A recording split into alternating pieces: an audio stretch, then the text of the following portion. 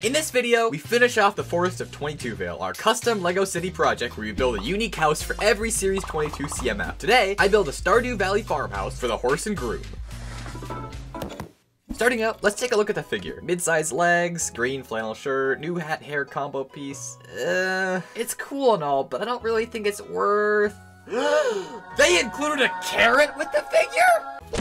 Seriously though, this pony, or foal, is far and away the best part about this minifigure. It looks adorable, and it's scaled perfectly next to regular size horses. Great figure, 10 out of 10. Now the name on the other hand. What kind of a name is Horse and Groom? What does that even mean? Is someone getting married? I'm just gonna look it up. A groom or stable boy, stable hand, stable lad, is a person who is responsible for some or all aspects of the management of horses and or the care of the stables themselves. I mean, you could have called her stable lass. Moving swiftly on, I think it's time to start the build. As I mentioned, we're gonna try to replicate the look of the farmhouse from Stardew Valley. I recently started playing the game for the first time, and it completely hooked me. The gameplay is so much fun, with fantastic writing, an awesome soundtrack, beautiful pixel art, and just to think the whole game was created by one person is mind-blowing. I'm super excited for Haunted Chocolatier. I want to try to capture a bit of that Stardew Valley magic within LEGO bricks. So, time to channel my inner Junimo and get building, after I clear some space. I've decided that this remaining forest area just isn't enough room for the farm I want to make. There is, however, a lot of wasted space between the Forest Elf and Troubadour's houses. I probably should have planned that out better. But we can finally remedy it now by moving the forest hideaway and all the surrounding foliage about 8 studs to the right. It doesn't give us a ton of extra room, but it'll make a huge difference in what we can build here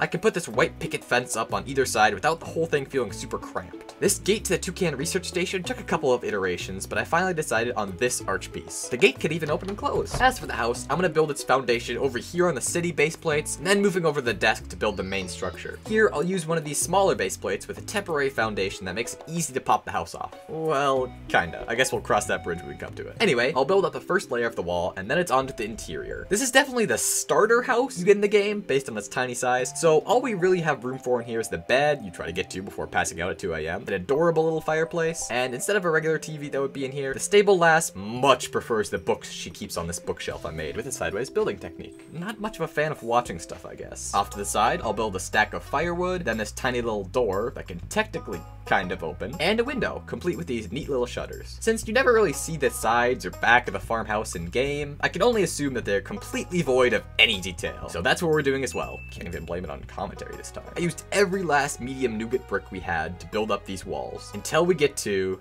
the roof.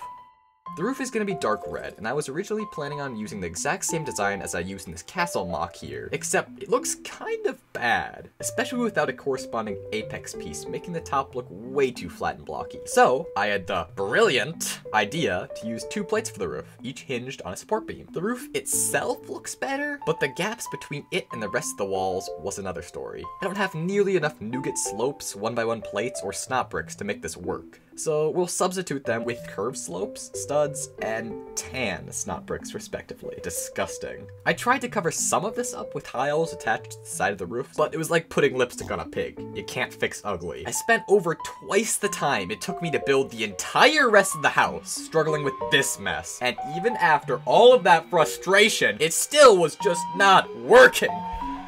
Ah. It was time for a different approach. Two massive changes completely saved this project. Instead of hinging the roof segments to the building and hoping they line up, I just hinged the segments together and let gravity keep the roof in place. Technically, this is an illegal building technique, but I don't think anyone really cared. However, that didn't solve the main problem of what on earth to do with the gaps here. So the second epiphany I had was to use cheese slopes here instead. Plus, I scavenged the Ideas treehouse set we've been building on stream for all the one by one plates I needed. Unfortunately, we don't have any medium nougat cheese slopes, so between dark tan and dark red, I decided on the latter. And I think Baby Yoda would appreciate it if I didn't have to steal all of them from his clothes. Ironically, it gives us the same stair-steppy look we were trying to avoid in the first place, but out of everything I've tried today, this is definitely the best option. It's totally worth it too because with this tiled shingle pattern and chimney I was able to add, plus this tiny little window that makes a lot more sense now, this whole house turned out phenomenal. It looks just like the real thing. Now, let's pop the entire assembly off the base plate and transfer it over to the city. It nestles right in here, but you may notice that I left a gap off to the left. Well, since this figure has a horse, and horses are in the game, I thought it would only be fitting to also build the stable in the only acceptable place to put it, so the roofs sort of slope together. This centaur minifigure piece from Series 21 has the exact same dual molded colors as the new foal. It could be its mom or something. Only issue is, it doesn't have a head. So let's just drape this fabric piece over the doorway and hope no one notices. I found this fantastic design for the roof, and after a bit of work, I realized you can totally see that the horse is decapitated from over by the Toucan research station. So let's just give it a brick build head instead. I suppose it's better than nothing. Now this cover isn't necessary, since it isn't in the game anyways, and we can add in some hay and a feeding trough inside, now that it actually has a mouth to feed. With the stable finished, we can put all three roof segments back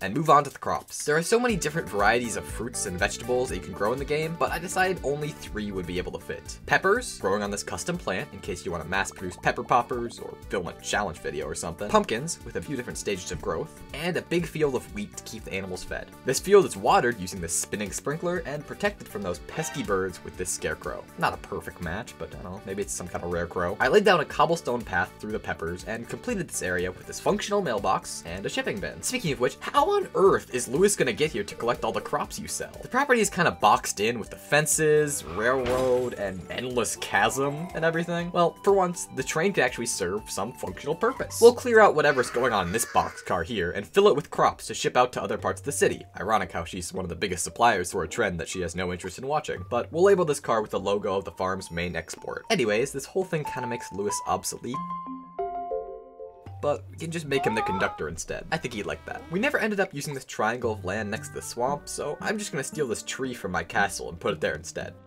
And a dead one over here. You know, pollution. Okay, wow. I think the farm looks great, but how does it compare to the real thing? I could just show footage of my 100 hour save file, but I think I'll make a new account in the spirit of the build. With these settings in check, I started work. My main goal for this account is getting two things, a stable and a red beanie. Let's see how long it takes to get them. Five hours later, here we are. This took a bit longer than expected and almost a full season in-game, but I did it. Horse and groom, complete with a stylish red beanie. I even have a carrot, just like the minifigure. But now I kind of want to add the crops in so it matches even more, but that's probably not worth my time. I don't want to talk about it. Pumpkins don't grow here in the summer, so I substituted them with melons. Not too shabby. I can't wait to show the side-by-side -side comparison of these. But first, I need to make some Lego farm tools. An axe, a hoe, watering can, pickaxe, scythe, fishing pole, and sword. This is the objectively correct hotbar order, and I will fight you in the comments if anyone says otherwise. Now for the moment you've all been waiting for. Drum roll, please. Boom! This looks pretty spot on if I do say so myself. The Lego tools on the UI really helped to sell the look. But with that done, this whole project took way longer than initially expected, but I am so happy with how it all turned out. It was a really fun challenge turning pixel art into bricks, a process we're gonna take out of this world next time. For now though, thank you so much for watching. Comment below with how many hours you've played Stardew Valley, and if you'll excuse me, I'm gonna go eat a Stardrop.